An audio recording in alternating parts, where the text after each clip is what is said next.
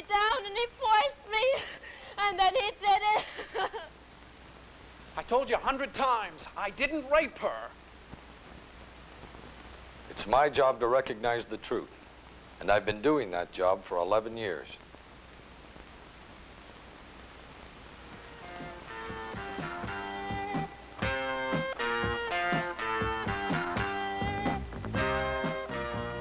More effective police work is hinging on the ability of agents in the field to gather accurate information and to arrive at the truth through interviews and interrogations. They are part of a process which usually starts with obtaining the information that provides a description of the crime. Don Halsey received the original complaint in the Darlene Bills case.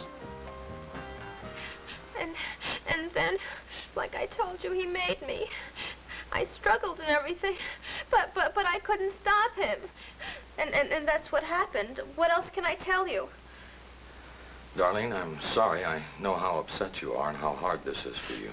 But I have to ask you some questions and get some more specific information. You know this is a pretty serious matter, don't you? And not only for you, but for us, too. Before we can do anything, the law requires that we obtain precise information, details that are pretty intimate. I know how you feel. But you're the only one who can tell us what we have to know. I'll try and make it as easy for you as I can. Will you try and help me?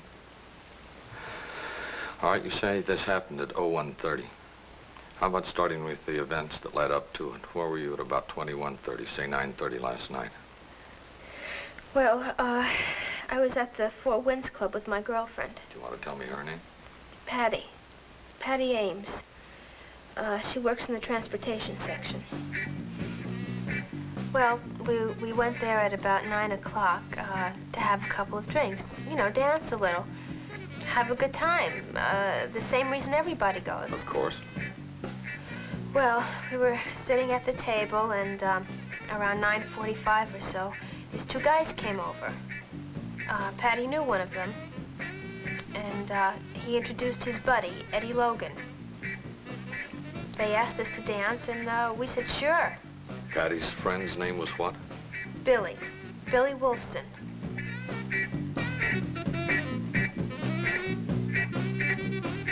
Would you say that Patty and Billy knew each other pretty well? Well, I really don't know. But it didn't matter. They seemed all right. You know, just a couple of ordinary guys, and uh, after a couple of dances, they brought their drinks over to our table. And uh, we just sat around drinking, dancing, talking, you know. Can you remember how many drinks you had?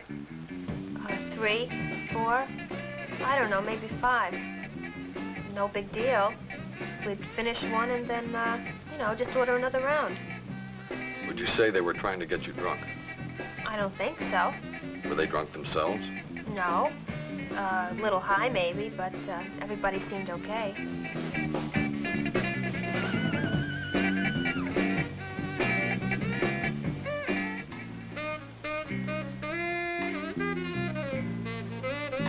Well, Eddie was on the make. Uh, you know what I mean?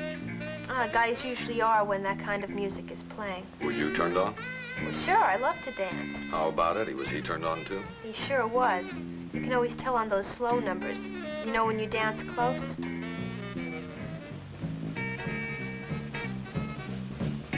All right, then what happened? Well, about 12 o'clock, uh, Patty said she had a headache and that Billy would take her back to the barracks in her car. It was okay with us. And Eddie would take me in his. She said they hated to break up the party, but, you know, it really wouldn't matter as long as everybody had a ride home. Do you think she really had a headache? Well, I don't know. She said she did, so I suppose she did. What do you think? I don't know. I, I, I don't want to say. Did she act like she had one? Well, she acted like, uh, she and Billy were, you know, kind of interested in each other. Maybe they wanted to be alone for a while. Do you know her very well?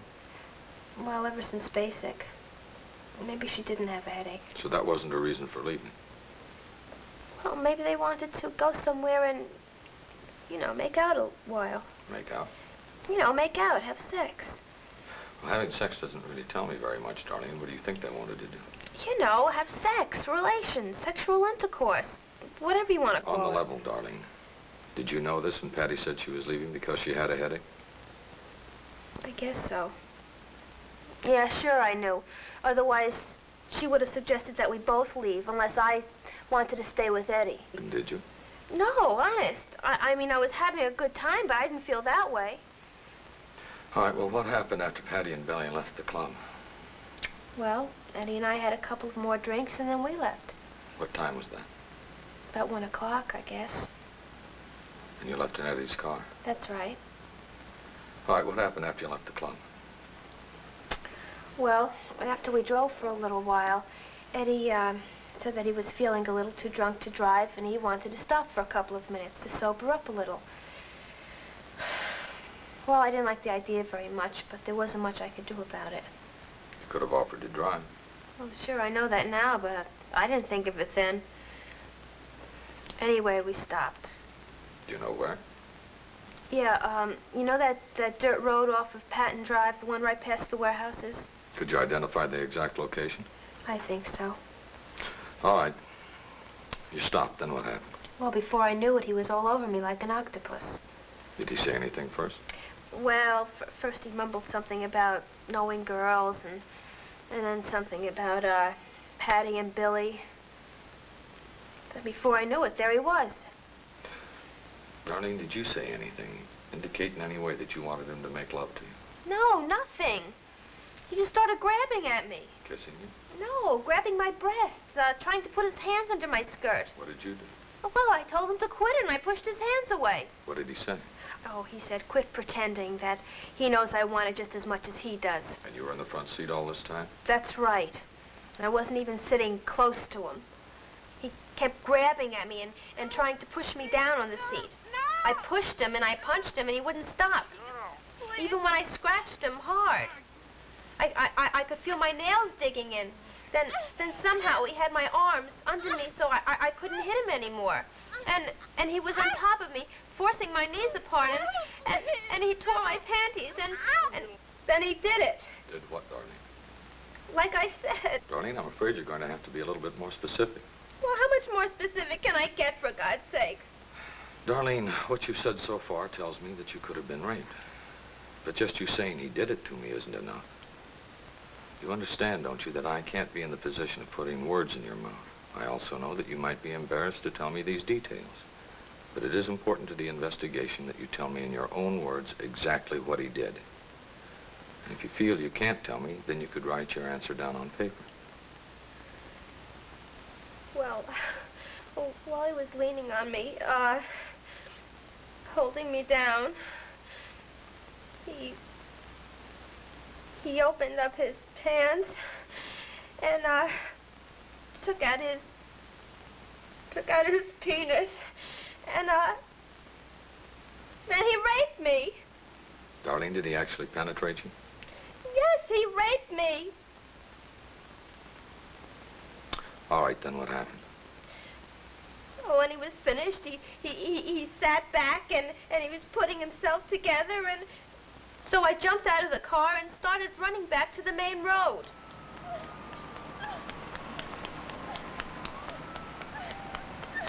Well, when I saw his car coming, I jumped into the bushes alongside the road to hide.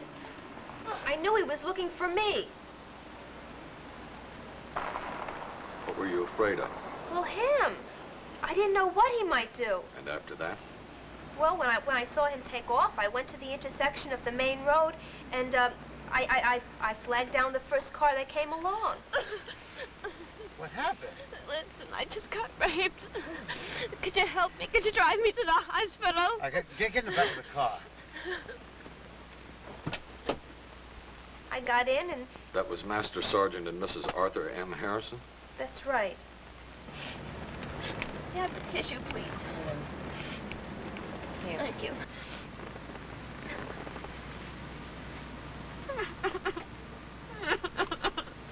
Well, they took me to the post hospital. Don Halsey's initial interview with Darlene also included a detailed description of Eddie and his car, but she hadn't gotten his license number. Later, Don visited Captain Hartman at the post hospital. When she was brought in at 0147, Vital signs were normal. And although she was extremely distraught, she wasn't hysterical or incoherent. Vaginal smears taken during a pelvic examination have been forwarded to the hospital laboratory for analysis. The examination showed no contusions or abrasions of the vulva, vaginal orifice, or internal tissues. Now, here's your 4137 and the stuff you want to send down to the crime lab. Torn panties, fine combings of the pubic hairs, scrapings taken from underneath the fingernails, and the instruments the scrapings were taken with. Now, these are scrapings of dried patches of a foreign substance found on the anterior surfaces of her thighs, about halfway down to her knees. But There were also stains on her dress, you'll have to get those for yourself. Otherwise, uh, there were bruises on the insides of her thighs, another on the left side of her neck, and that's about it. I've signed you 4137, and if there isn't anything else, I'll make out my report and get it over to you as soon as I hear from the lab upstairs. Thanks, Al. I'd appreciate it as soon as possible.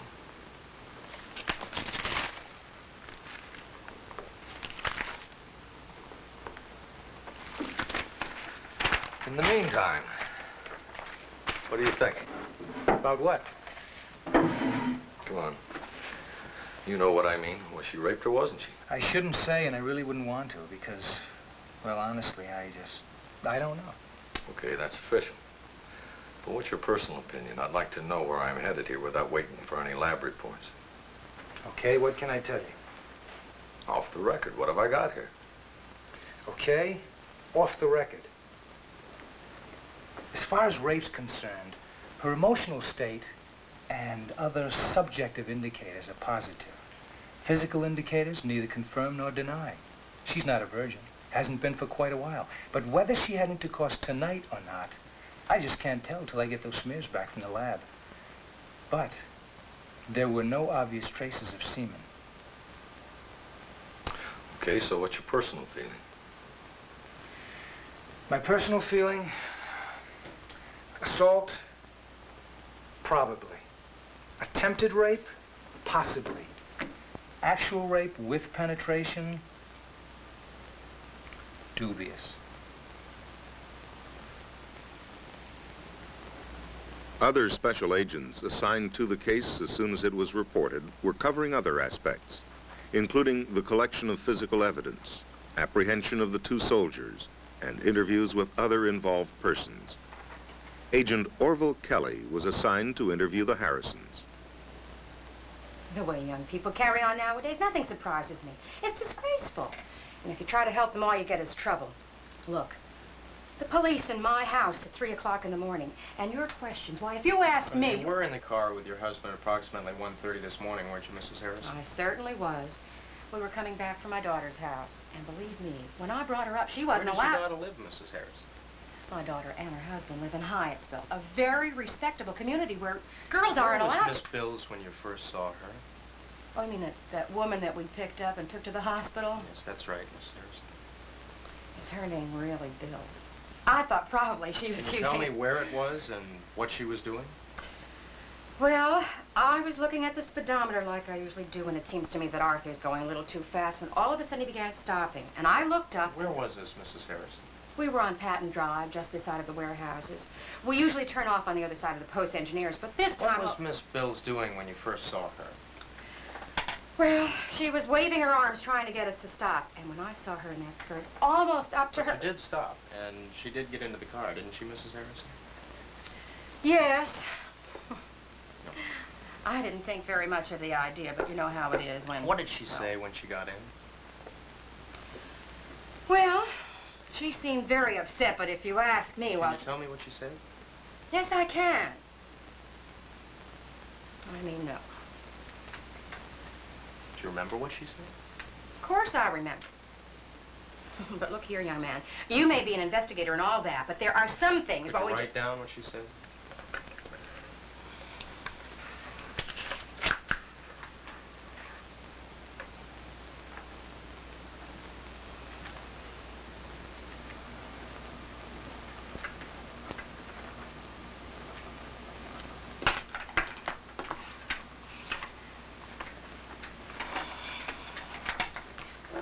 Would you say she behaved as if this were true? I say she acted as though it were. And a very good actress she was, too. But any woman who would wear a skirt that short and that tight shouldn't be surprised. But did she seem uh, upset? Well, yes.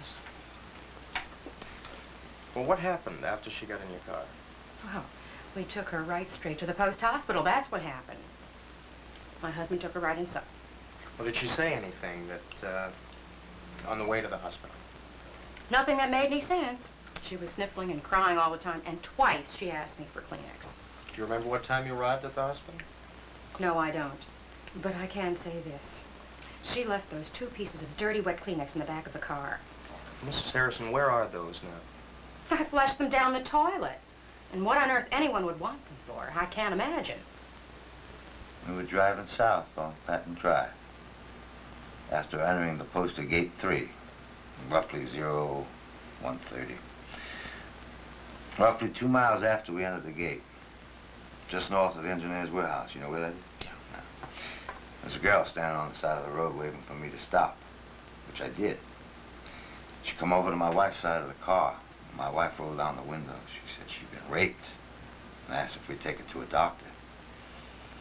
I said, get in the back of the car. We drove to the post hospital. Arriving there at 0146.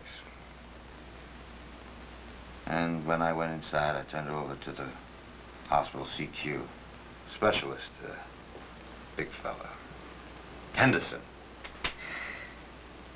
I identified myself and we left, my wife and I, and we came back here to our quarters in MacArthur Heights.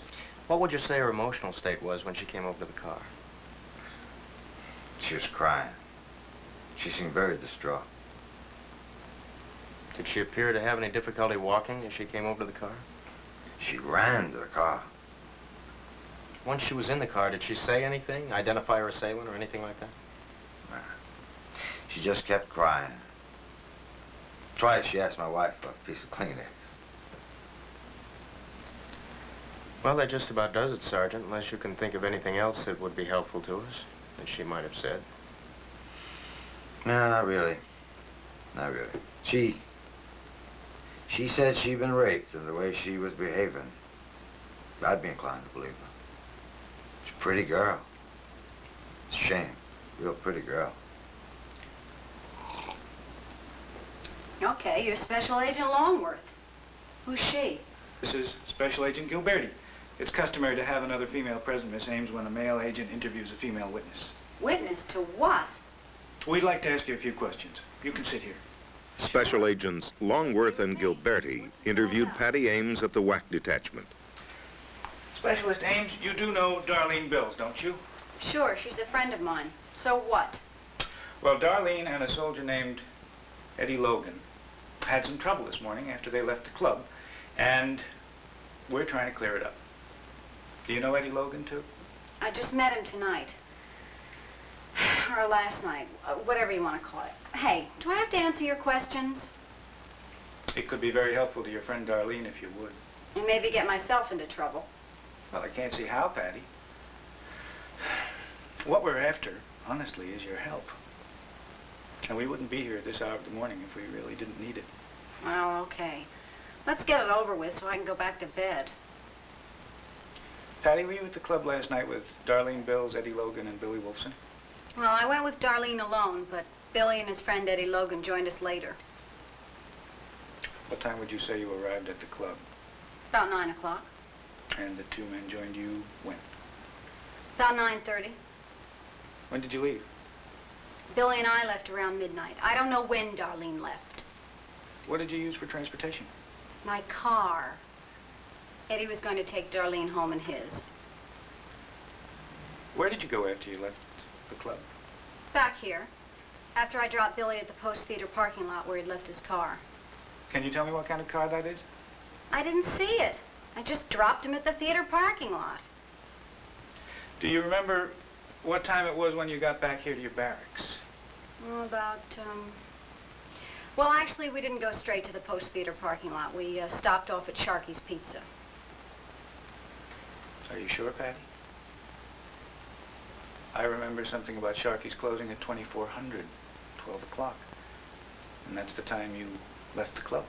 All right. So we didn't go straight to the Post Theater parking lot, and we didn't stop off at Sharky's Pizza. So what? Would you tell me where you did go? No, I wouldn't. And if you're going to keep asking questions like that, we can call it quits right now. Well then, uh, may I ask, did you see Darlene or Eddie Logan at any time after you left the club? Okay. No, I didn't. By the way, how long have you known Billy Wilson? Four or five days. I met him at the NCO club. Had you dated him before? Twice, besides last night. You know what unit he's in? I don't have any idea. Do you know what unit Eddie Logan is in? No, I told you. I never saw him before last night. Patty, would you say that you know Darlene pretty well? Yeah, I guess so. We took our basic training together, and we've been friends ever since. But if you want to know anything about her, ask her yourself. She's a good friend, and I'm not going to talk about her. Period. Patty, the reason we're here is because Darlene Bills was brought into the post hospital this morning at 0147, claiming she had been raped. You're putting me on. By Eddie Logan? Is she all right? I mean... As far as we know, she's all right physically. What we need is information on Darlene. Do you think she was raped by Eddie? Or did she submit willingly? She did it, I don't believe she did it willingly. Why do you say that? Look, she gets her share. We both do. But we've had a rule ever since basic. I've never broken it, and I don't think she has either. What rule is that? Never do it on the first date, even if you like the guy. She just met Eddie last night, and I don't think she even liked him that much. Well, then, let me put this as delicately as possible. Do you think it's possible she led him on? Teased him, perhaps, until... No, she doesn't operate that way. As soon as the subject comes up, she lets him know right off. If it's the first date, no way. You seem pretty definite about that. I am. Do you want to know anything else? As a matter of fact, I do. If it's about Darlene, forget it. What we were wondering is if you could help us locate Billy Wolfson. Oh, now, wait a minute. He was with me. He didn't have anything to do with anything that happened last night. If you want to know about his boyfriend, ask him. Don't drag me into it. Patty, there is no soldier on this post named Billy Wilson, or William Wolfson, or anything like it. What? What are you trying to tell me? There isn't any Eddie or Edward Logan either. You mean We believe both men were using fictitious names, phony, huh? if that's the word you prefer. We're wondering if you could give us a description of them. Sure. And I can do even better than that. Like what? Billy, my good friend, Billy Wolfson, has a date to meet me at the club tonight at 8.30. Do you think he'll keep it? After last night? Yeah, I think he'll keep it.